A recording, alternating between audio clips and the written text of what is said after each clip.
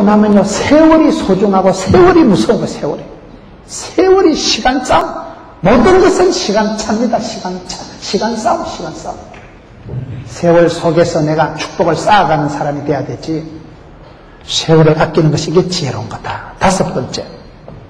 오늘 말씀을 따라가는 거예요. 지혜로운 사람은 어떤 사람일까요? 너희가 어떻게 행할 것을 자세히 주의하여 지혜 없는 자 같지 말고 세월을 아끼라 때가 가더라. 17절에 그러므로 어리석은 자가 되지만 오직 주의 뜻이 무엇인가 이해하라.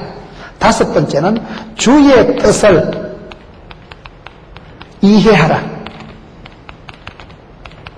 이 말은 무슨 말일까요? 주님의 뜻을 우리가 왜 이해해야 될까요? 제가 요즘 많이 생각하는 것이 있는데 우리가 하나님하고 초점이 맞아야 돼요. 초점. 이세 아들 다윗을 만나니까 내 마음에 합한 자다. 그러니까 내 뜻을 이루리라. 따라서 아빠를 사랑합시다. 갑자기 웬 아빠 얘기가 나오냐. 하늘에 계신 아버지 하나님을 마음 편하게 해드리세요. 아버지 하나님하고 코드를, 주파수를, 궁합을 맞추세요. 그러면 내가 복 받습니다. 왜요? 우리 하나님은 당신의 뜻대로 하시는 거예요. 당신의 뜻을 내가 이해하고 당신의 뜻에 맞추는 게 내가 복 받는 비결이에요. 하나님, 내 입장 좀 이해해 주라니? 그러는 것보다 내가 하나님 앞에 가서 들려붙는 게 빨라요. 고부 간에 갈등이 있을 때 하나님 아버지가 계시고 네가 있고 내가 있다. 그러면 니캉내캉 갈등이 자꾸 일어나고 가정생활, 직장생활에 트러블이 때 어떻게 해야 될까요? 시어머니하고 며느리가 싸울 때 누가 먼저 해결해야 될까요? 시어머니가 해결해야지 권사가 돼가지고 아닙니다. 며느리가 해결해야지 쫓겨난 게 아닙니다. 각자 시어머니는 시어머니대로 새벽기도 나서 하나님께 회개하고 며느리는 며느리대로 큐티하고 기도하면서 하나님께 회개하면 하나님 앞에 가서 통일이 하나가 됩니다. 이게 지혜예요.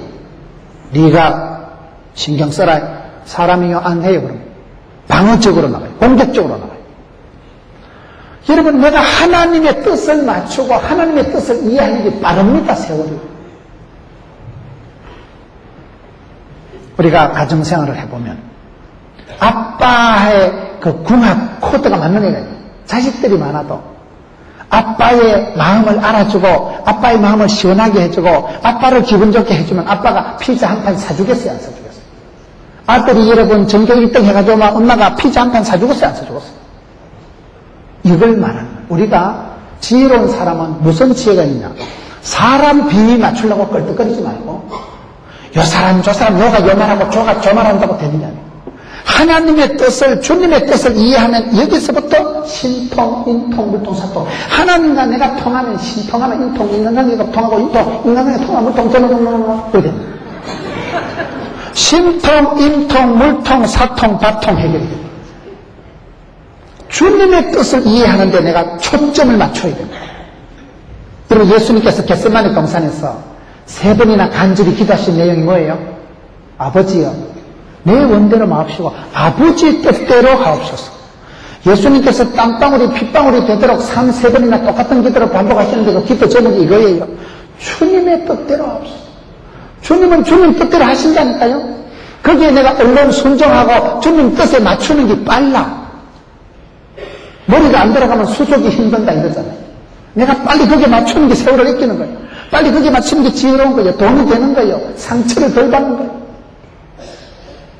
우리가 살아가면서 주님의 뜻과 내 똥꼬집이 반대로 나갈 때 갈등이 일어나고 내 안에 내가 많아 정갈래 망갈래 정신이 분열이 일어나. 하나님은요 내가 찍고 니가 찍고 때문에 손해 안 보십니다. 내가 없으면 하나님은 당나귀를 통해서라도 돌멩이를 통해서라도 일하실 수 있는 분이 하나님이세요. 내가 찍고 니가 찍고가 하나님 나라에 그렇게 방해 요소가 성공 요소가 안 됩니다. 저와 여러분은요 별거 아니에요. 내가 없다고 하나님이 무슨 손해보고 아쉽겠어요? 내가 안 도와준다고 하나님이 후원금 모자란다고 하나님이 일을 못하시겠어요? 내까지 건, 니까지 건한 개도 안 줘요. 당신은 당신의 뜻대로 당신의 구원 역사를 펼쳐가시는. 어떤 누구도 하나님을 후원할 수가 없어요. 후원금이 필요 없어요, 하나님은. 그럼에도 불구하고 하나님을 도와주세요. 하나님 사랑합니다. 어떤 주일학교 어린이가요, 일기장을 썼는데, 하나님 힘내세요. 얼마나 피곤하시겠어요. 제가 도와드릴 테니까요. 하나님 힘내세요. 그래 일기를 적었는데, 얼마나 믿음이 순수해요. 하나님은 니까지 그 도움 없어도 하신다니까요. 그럼에도 불구하고 내가 하나님을 도와드리려고 하고 하나님 비위를 맞추어드리고 하나님하고 궁합을 맞추는 게 그게 하나님 보시기에 이쁘다 이 말이야. 그걸 잘한 사람이 다윗이에요. 이세 아들 다윗을 만난 게 내하고 똑같아. 내 마음하고 궁합이 탁 맞다. 그러니 내 뜻을 다 이루리라. 그 시대에 수많은 사람들이 있었지만 디빗을 통해 가지고 천하를 통일하고 최고의 지도자로 천년에 한 번 날까 말까 한 지도자로 다윗을 세워서 들어 쓰신 이유는 뜻을 이해했기 때문입니다. 주님의 뜻을 살피세요. 어떻게? 믿음은 들음으로 들음은 말씀으로 말씀을 들을 때 성경을 읽을 때 우리가 지혜가 생기는 거예요. 아, 하나님이 이런 걸 기뻐하시는구나. 하나님 이걸 싫어하시는구나. 그래서 이제 하나님 말씀을 들으면서 이걸 분별을 하는 거예요. 하나님 싫어하는 건 얼른 버리세요. 하나님 좋아하는 걸 나도 좋아하세요. 주의 뜻을 이해하는 거예요. 여섯 번째. 오늘 말씀을 계속 따라갑니다. 18절에 술 취하지 말라. 이런 방탕한 것이니. 여섯 번째는 술 취하지 말라. 술 취하지 말라는 말이 왜 지혜하고 관계가 있을까요? 술을 취하지 말라는 것은 사람은 살아가면서 반드시 무엇인가 빠지게 돼 있어요. 뭔가에 사람은 취하게 되는 거예요. 성령의 새술에 안 취하면 세상에 빠지게 돼 있어요. 우리는 뭔가 미쳐야 살아, 미쳐야. 텔레비전의 은혜를 받든지, 휴대폰 중독, TV 중독, 쇼핑 중독, 알코올 중독. 여러분, 내가 술을 취하지 말라는 것은 세상에 빠지지 말아야 해요. 중독 현상이 나타납니다. 내가 무엇을 좋아하고 취하고 빠지고 따라가다 보면요, 나도 모르게 중독 현상이 나타나고, 중독 현상이 나타나면 사람이 비참해집니다. 알코올 중독이 되면 내가 술을 마시지만은 내가 술을 마시는 게 아니고 세월이 지나면 뭐라 그래요? 술이 나를 마신다. 제가 술을 마시고 하는 소리는 아니고 원리가 그렇다 이 말이에요. 세상적인 것은 내가 그걸 좋아서 따라가지만은 내가 술이 좋아서 술을 마시지만은 술이 나를 마셔버려요. 술 취한다. 알코올 중독이 되면 그때는 사람이 어떻게 돼요? 술 취하지 말라. 이는 뭐요? 그럼 방탕하게 되면 뭐 망하는 거지. 방탕까지 가면 그거는 분별력도 통찰력도 눈치도 고치도 없고 사람이 막 폐인이 돼버려요. 여러분 우리가 사람이 망하는 단계가 있어요 보면 지혜가 없는 사람은 자세한 주의사항을 잃어버리기 때문에 지나갈 일을 사소한 일인데 그게 큰 화근이 되는 짓을 합니다. 자세히 주의하지 않아요. 그래서 꼭 바보 같은 어리석은 짓을 하고 지혜가 없는 자같이 되니까 그 사람은 지혜가 없으니까 지혜가 없으면 부자, 건강, 행복이 다 날아간다니까요. 그런 사람은 세월을 아까운 줄을 몰라. 내가 뭐 천년만 년 건강할 줄 아는 거예요. 그러나 뇌출혈이 일어나고 중풍을 맞고 내가 이런 위장이 빵꾸나고 간경화가 일어나고 그때는 늦었다니까요. 건강이 얼마나 소중한 걸 아는 사람은 대부분 건강을 잃은 사람들이에요. 건강을 잃기 전에는요, 몸뚱아리 믿고 천방지축 설치. 아무리 운동을 해도 운동을 안 하는 거예요. 그런 사람은 하나님의 뜻하고 뜻박자가 나는 거예요. 하나님이 기뻐하시는 삶을 안 살아가고 자꾸 지 똥꼬집을 관철시키려고 하기 때문에 이 사람은 망할 수밖에 부러질 수밖에 없는 거예요. 그런 사람은 이미 이때쯤 되면요, 엉뚱한 것에 빠져 있어. 그것에 상당히 취해 있는 거예요. 술 취하지 말라는 것은 예수 믿는 사람들 보고 술 마시지 말라는 얘기가 아니고 우리는 대부분 술을 잘 안 마시잖아요. 술이 아니라 세상적인 그 어떤 달콤하고 뭐 땡기는 거, 뭐 맛있는 거, 그것에 빠지지 말라는 거예요. 사람은 뭔가에 빠져서 취해서 살아간다니까요. 술 취하지 말라. 중독이 되도록, 중독이 되도록 하지 말라는 거예요. 사람이 다 중독이 됩니다. TV를 한번 봐보세요. 왜 여러분 이게 술 취할까요? 제가 봤을 때 이게요, 미련이 남아서 그래, 미련이. 미련 때문에, 미련이 뭡니까? 내가 텔레비전을 보고 박사학위 논문 받으려고 논문 쓰려고 TV 보는 사람은 없어. 제가 TV를 봐보니까요, YTN, 어머, 뉴스 다. 재밌다. 지금 핵이 어떻게 돌아가지? 뉴스 보고. 그 다음 OCN, 어머, 영화네. 저번에 지난번에 보려고 했는데 오늘 공짜로 나오네. 잘 듣다 보자. 다큐멘터리 봐보세요. 막 얼룩말이 나오고 하마가 나오고 아프리카 초원에 음, 너무 멋있다. 저기 가서 좀 살았으면 좋겠다. 채널을 돌리가면서 보면서요. 기독교 TV에 밀레니엄 특강도 보고 볼 게 천지 빽깔이다.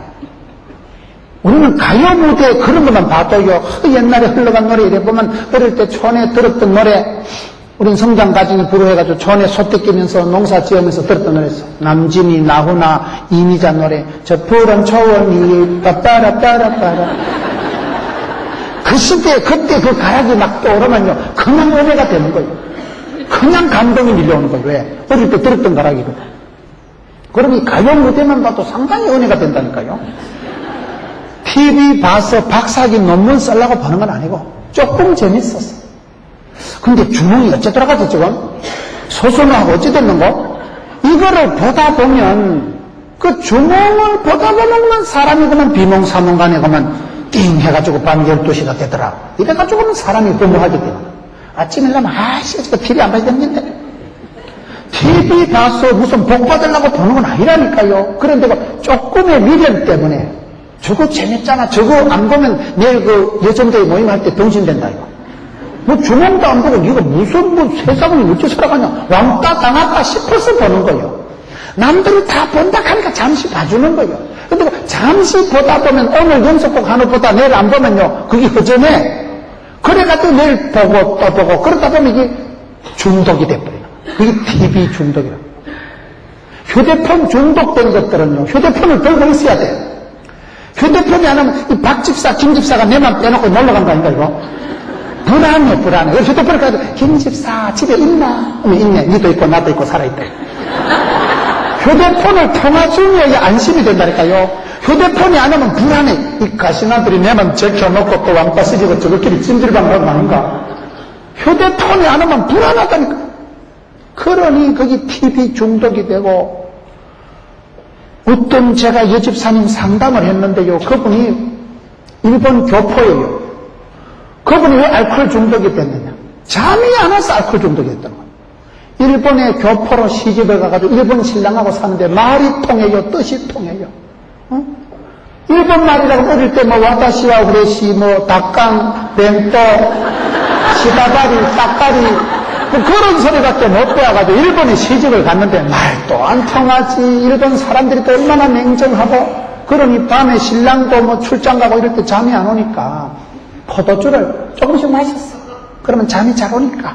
그런데 조금씩 마셨다 점점 이렇게 세지는 거예요. 오늘 한 사발 마시고 내일은 한 병 마시고. 그러다가 돼. 결국은 떨어져요. 제가 집회 갔는데 저한테 와서 상담을 하는데 가만히 들어보니 참 딱하더라고요. 폐인이 됐어, 폐인. 그분은요, 술 먹으려고 그래. 허랑방탕하려고 술을 먹은 건 아니에요.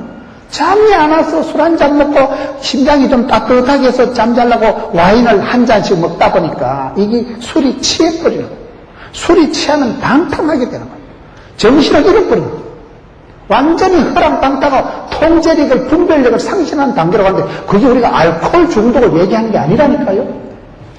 여러분 내가 무엇을 하다 안 하면 허전하면 그게 이미 중독이 된 거예요. 세상 만사가 중독을 흘러갑니다. 내가 새술에 성령의 새술에 취하지 않으면 반드시 세상 술에 빠지게 돼요. 그래서 내가 이상한 중독에 빠져서 통제가 안 될 만큼 폐인이 될 만큼 허랑방탕한 단계로 들어가기 전에 술 취하지 말라. 중독이 되는 그건 사람이 폐인이 되고 통제가 안 되다. 중독 현상이 나타나면요 금단 현상이 나타나. 벌벌 떨어. 술을 먹어야지 술을 안 먹으면 피가 안 돌아갑니다. 커피 중독, 게임 중독, TV 중독, 뭔가 중독이 있습니다. 그 다음 어떻게 해야 될까요? 술 취하지 말라 이는 방탕한 것이 오직 성령의 충만을 받아라. 일곱 번째. 오직 성령의 충만을 받아라. 성령 충만 받으면 출세한다는 말이에요. 여러분, 이 술 취하지 않기 위해서는 반드시 성령에 취해야 되는 거예요. 이게 지금 대체가 되는 거예요. 성령으로 내 인생을 선점시키세요. 성령님보다 기도보다 앞서지 마라. 내가 성령의 충만함을 안 받으면 반드시 헛된 마음 버리고 이게 안 됩니다. 헛된 게 내 마음을 가득 채웠고 헛된 생각이 내 마음에 있으면 헛된 행동을 하게 돼요. 성령 충만 받는다는 게 뭘까요? 성령 충만 받으라는 게 시커먼 옷이나 덮어 쓰고 철야기도 하라는 얘기가 아니고 가장 성령 충만한 게 가장 아름답습니다. 왜요? 성령님은 진리의 영이기 때문에 성령이여 임하사 성령 충만함을 받으면 권능을 받고 권세와 능력을 받아 내 몸에 파워가 힘이 거예요. 내 인생이 동력화가 되는 거예요. 오직 성령이 임하시는 권능을 받는 거예요. 성령이 임할 때 우리가 눈이 열립니다. 성령이 임할 때 넓으니까 꿈을 보고 성령의 은사가 부르듯 일어나고 나면 저희의 마음이 막 탄력이 부르듯 일어나는 거예요. 성령 충만 받지 않으면 세상의 충만함을 받고 술 취할 수밖에 없기 때문에 이게 대신하는 거예요. 술 취하지 말라 이는 방탕한 것이니 오직 성령의 충만을 받아라. 성령 충만 받을 때 성령의 권능이 분별돼요. 성령 충만함 받으면요 연세 많으신 할머니들이요 새벽 기도만 하셔도 성령 충만 받은 할머니들은 척도만 알아 척도만 기도를 많이 하시면 하나님 영안을 열어주시고 눈에 비늘을 벗겨주시기 때문에 똥인지 된장인지 비슷하다고 찍어 먹으면 되는 게 아니고 그냥 안다니까. 아이고 야야 가는 사윗감이 안 되겠다. 그 여자는 안 되겠다. 그냥 사람을 척도만 분별력이 오는 거예요. 그게 권능이에요. 가장 큰 지혜는 사람을 분별하는 거예요. 사람을 분별하는 거 분별력은 성령님이 주시는 거예요. 힘으로 능으로 안 됩니다 저는 제가 개인적으로 정리한 생각이 성령 충만한 사람이 가장 매력적이다.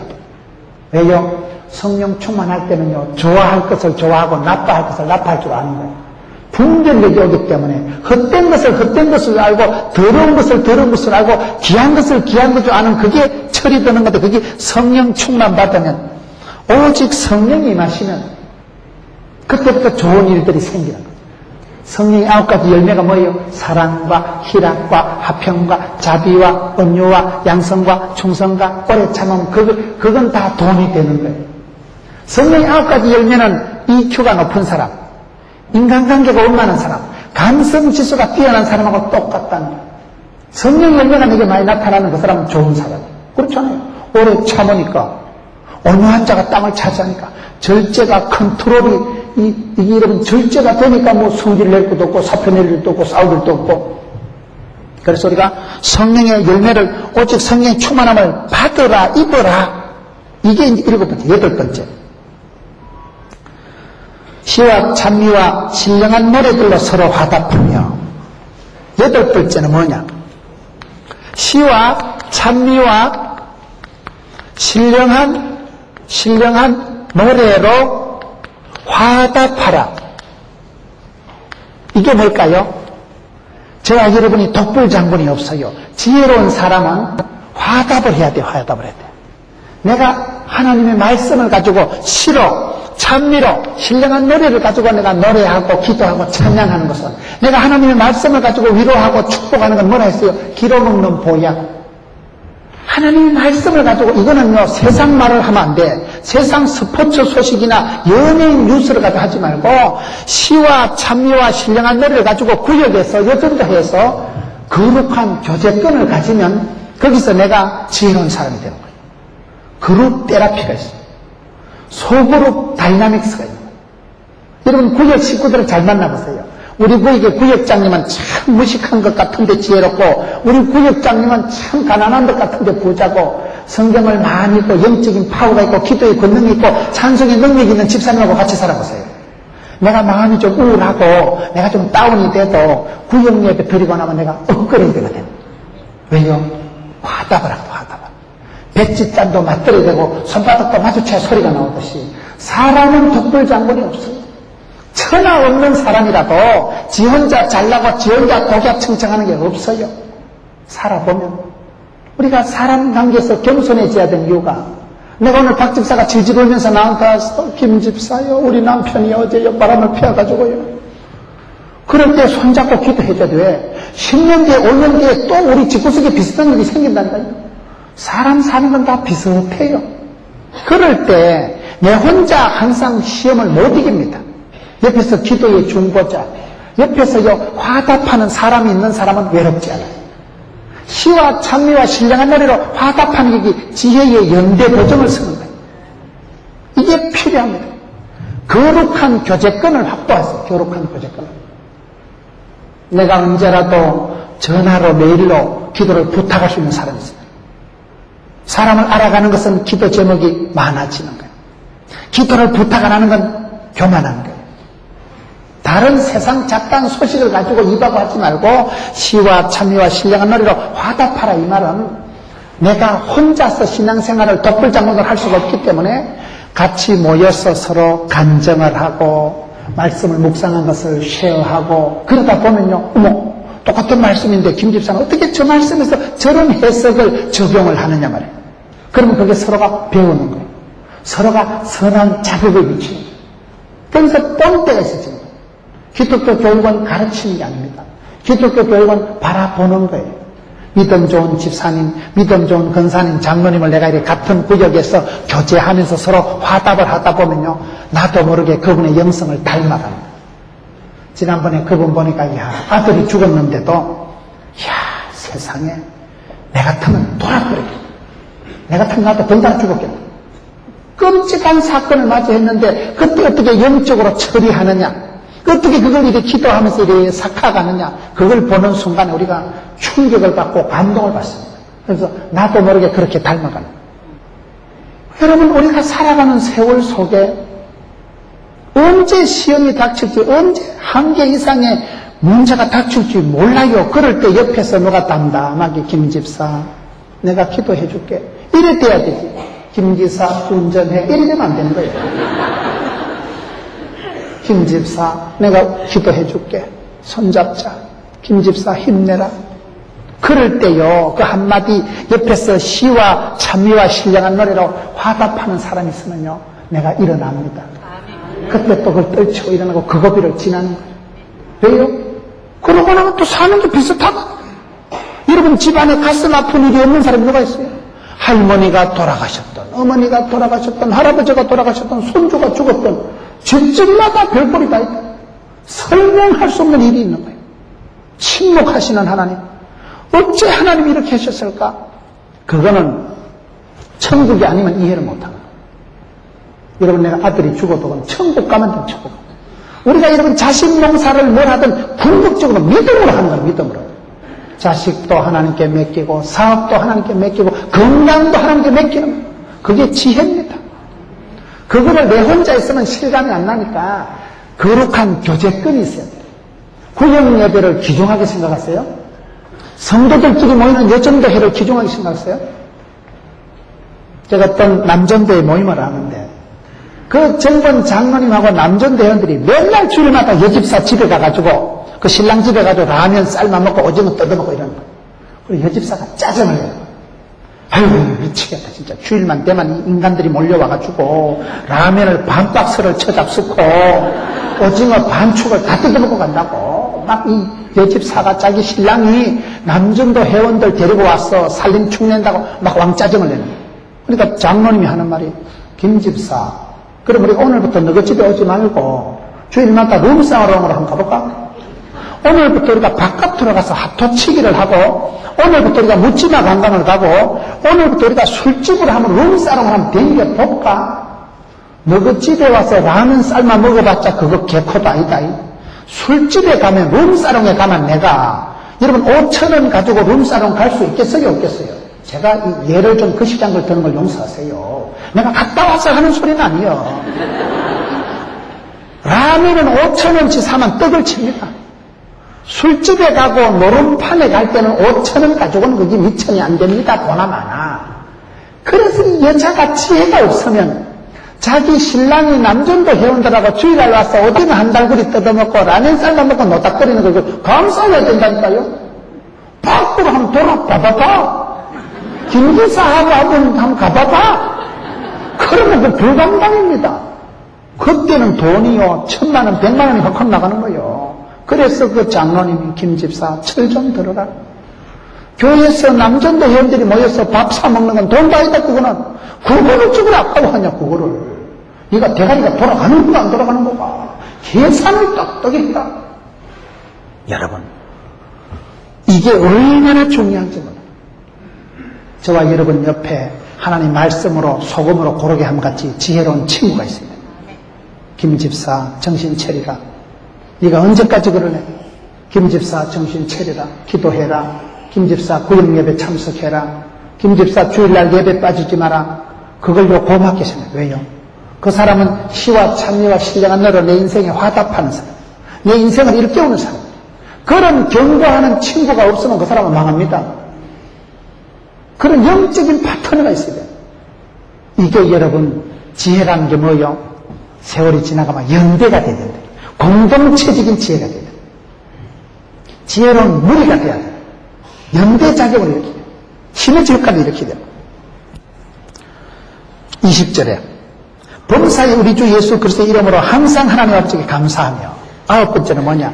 범사에 항상 하나님 아버지께 감사하며 이때쯤 되는 게 감사가 체질이 돼요.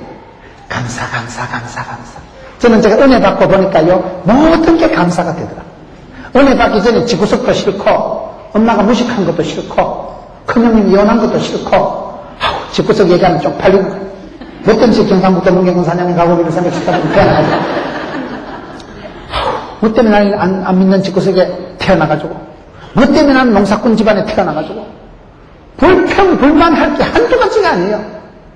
그래서 내가 태어난 게 불평이 되고, 여러분 집구석이 불평하고, 불행하고, 그런 생각을 하니까 제 자신이 쪼다가 되더라고요.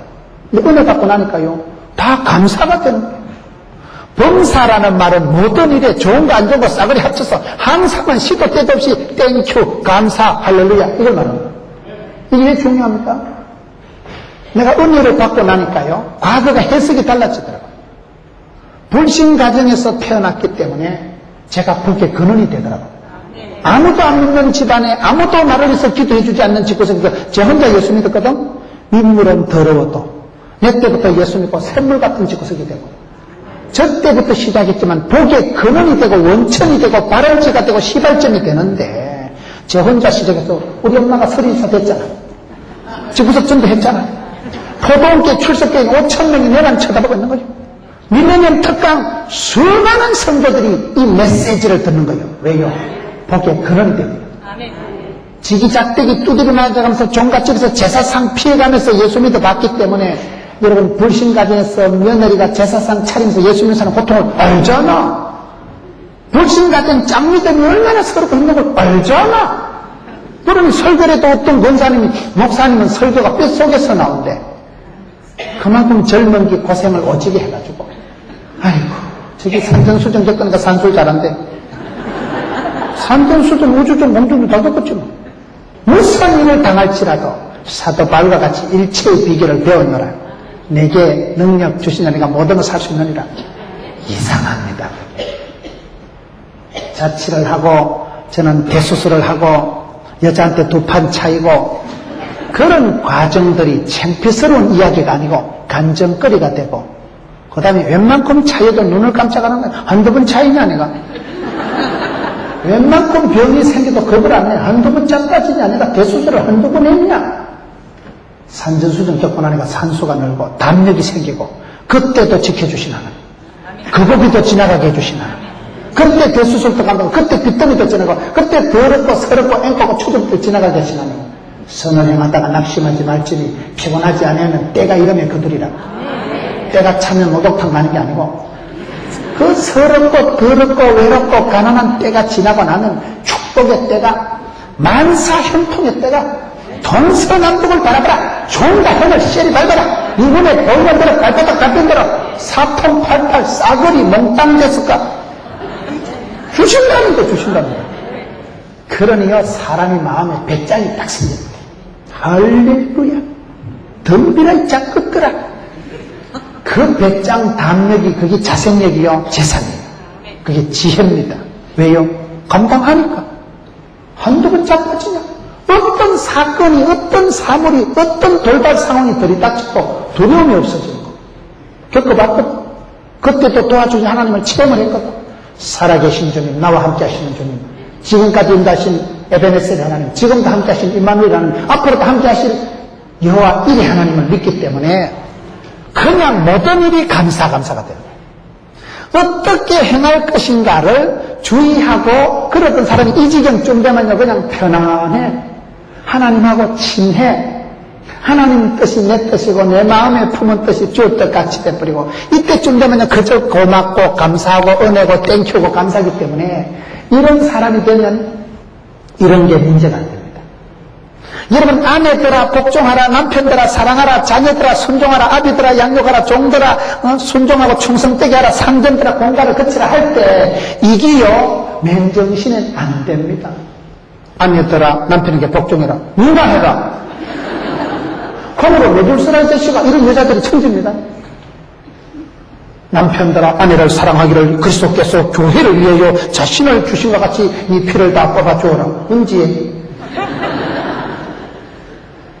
사랑이 복종이 마음대로 안 됩니다. 태진한테 가서 물어보세요. 사랑은 아무나 하나? 이게 안 돼, 마음대로. 이게 안 되면, 이게 안 되면 이게 안 됩니다. 이거를 애를 쓰지 마세요. 어쨌든 내가 좋은 아내가 돼야 되지. 어쨌든 내가 사랑하고 복종하고 순종하고 주의 교양과 훈계로 양육해야 되지. 양육을 신경 쓰지 말라니까요. 주의 교양과 훈계를 지가 알아야지, 지가. 지가 자세히 주의해서 지가 지혜 있는 자가 되어야 지가 무슨 성령 충만을 있어야 건드겨가 나눠줄 게 있지. 그래서 여러분, 우리 어떻게 하면 지혜 있는 자가 될까요? 세상을 이기는 사람은 지혜로운 사람입니다. 세상에 지는 사람은 어리석은 사람입니다. 천번 만번보다 귀중한 게 지혜예요. 최고의 선물은 지혜예요. 오늘 저와 여러분이 지혜가 없어서 망합니다. 지혜가 없어서 실패합니다. 지혜가 없어서 가난해지고 지혜가 없어서 고통당합니다. 지혜 있는 자가 됩시다. 어떻게 하면 될까요? 너희가 어떻게 행할 것을 자세히 주의해라. 말씀을 들을 때 한 가지씩 적용을 하세요. 옳거니 오늘 내가 말씀 중에 내가 이거를 묵상해야 되겠다. 세미하신 하나님, 그렇게 여러분 조용하게 오신 하나님, 하나님께서 세미한 음성으로 내게 들려주신 하나님의 말씀을 캐치하세요. 믿음은 들음으로 들음을 말씀, 그 말씀을 들을 때 그 말씀이 내게 교양이 되고 문화가 되고 기독교적인 성경적인 힘이 되도록 말씀을 내가 읽고 묵상하고 해석하고 적용을 하세요, 적용을.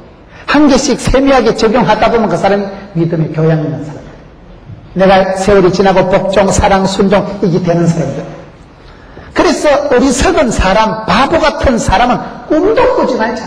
흉내도 내지 말자.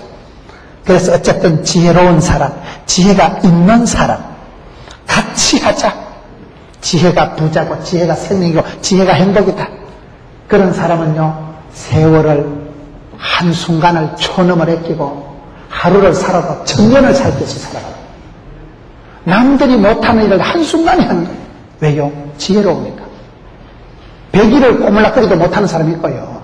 영빨 있는 사람은요, 세월이 문제가 안 되더라고요. 지금은요, 세월이 역사가 오래된 걸 자랑하지 마세요. 여러분 교회가 80년이 넘은 교회고, 여러분 교회가 입당했잖아요. 지금부터는요, 80년의 역사를 꼽으로 부흥합니다. 부흥이 되는 교회는요, 상상 밖으로 부흥이 되더라고요. 세월이 오래됐다고 자랑하지 마세요. 세월을 꼽으로 살아가는 사람. 주의 궁전에서 하루가 세상에 첫날보다 낫다니까요. 세월을 자랑하지 말고 세월이 무서운 줄 알아요. 저는 저희 어머니가 심장병 때문에 언제 쓰러지실 줄 모르기 때문에 야 밤에 잠을 자도요 심장이 고맙더라고요. 심장아 심장아 수고가 많다. 나는 자빠져 잘 테니까 계속 뛰거라. 심장이 밤에 10분만 멈추면 죽습니다. 고마워. 심장이 뛰어주는 게 고마워. 내가 아침에 눈 뜨는 게 신기해. 내 발로 걸어서 예배당 오고 내가 포동계 담임 목사 해먹는 게 내가 기특해. 세월이 지나면 죽겠지 뭐. 다음에 김문우 목사 죽었다 하고도 그런 줄 알아요. 죽겠지 뭐 세월이 지나면 다 가지 뭐 천년만년 살아있는 게 누가 있어. 내가 어디가 이런 설교를 했더니 아, 목사님 말을 어째 그래 하노? 그런 말은 하는 게 아니다. 아니든 누가 아니다. 세월이 지나면 다 간다니까요. 모든 것은 지나가는 거 모든 것은 지나가. 세월이 무서워요. 세월 지나면 늙어 지나니 늙었지만 흰달굴이 어떤 뭐 할매 얼굴이 뭐 주름살이 꽉 잡혀가지고 뭐 고운 것도 거짓되고 아름다운 것도 뻥이야 뻥. 피부 곱다고 자랑하지 마라 이 작것들아. 나이가 들어가면 나이 태가 나듯이 믿음의 깊이가 역사가 흘러가면요, 신앙의 태가 나요, 태가. 태가 나요. 품위가 나타나요. 기도의 깊이가 세월의 무게가 느껴져야 돼요. 그런 사람은 세월을 뺏기는 사람. 세월 무서운 줄 우리가 알아야 돼요. 세월 무서운 줄 모르기 때문에 허랑 방탕하는 거예요. 주님의 뜻을 이해를 못하기 때문에 지 고집만 부리다가 세상에 취하고 빠져가지고 허랑방탕하다가 믿음 때문에 어지중간하게 살다 중독이 돼가지고 그런 사람은 오직 성령의 충만을 받으면 이런 아름다운 교제권이 형성이 되고 은혜를 나누세요. 시와 참여와 신령으로 화답하세요. 그러면 범사에 항상 감사하고 마지막 열 번째 피차 복종하리라. 서로 그냥 섬겨주고 도와주고 돕는 배필이 되고 그러니까 그런 사람은 반드시 좋은 아내, 좋은 남편, 좋은 상정, 좋은 자녀가 되더라고요. 이 인간관계 사람들과의 만남 속에서 어떻게 하면 내가 가정생활, 교회생활, 직장생활을 잘 할 수 있을까요? 요렇게럼 하면 요렇게로만 사람이 돼가지고 요렇게로만 사람이 돼가지고 요렇게로만 인간이 돼요. 어디 가도 참, 이 김집사 참 복이 있다. 내가 김집사 같은 아파트에서 만난 게 내가 이 동네에 와서 내가 최고 축복이다. 내가 네 만난 게 인생의 행복이다. 그러면서 내가 네 만난 게 악연이다, 악연. 제가 어떤 분 보니까 그러더라고요. 같은 집사 돈을 빌려주는데 한 2천만 원 떼였어. 그래, 막판에 정리하는데 내가 네 만난 게 악연이다. 그러고 딱 끊어버리더라고요. 다시는 전화도 하지 마라. 내가 네 만난 그것이 불행이다. 복 있는 사람은 악인의 길을 안 쫓고 죄인의 길에 오만한 자리에 서지도 가지도 여러분들은 복 있는 사람, 지혜 있는 자가 되세요. 이 마지막 시대에 어리부리하지 마세요. 세월을 분간을 못하고 철없는 짓을 하고 미련하고 어리석은 짓을 하지 마세요. 정신을 챙기세요. 지혜 있는 자같이 되어서 시대를 사명을 감당하고 명품 인생, 명문 가정, 아름다운 인생을 살아가는 지혜로운 여러분 되시기를 주의 이름으로 축원합니다.